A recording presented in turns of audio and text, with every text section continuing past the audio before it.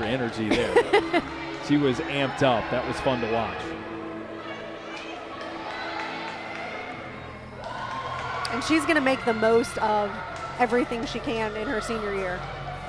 Again, we, we don't know how long these these gymnasts are going to get to compete. We don't know if it'll be cut short again. So I guarantee you every senior out here is living each moment.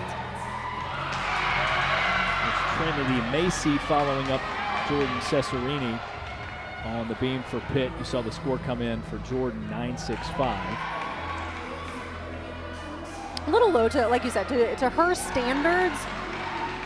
That was okay. Yeah, it's you been know, it's it, been a, a, a, bit of a rough day for her Yeah. by her standards. Given Yeah. again the floor exercise, she took the Not- fall. It was a nine-one. Mhm. Yeah, not bad, but you know, again, she's she sets the bar so high for herself that there's there's definitely some disappointment in that one. Even though she made a routine, she got a good score.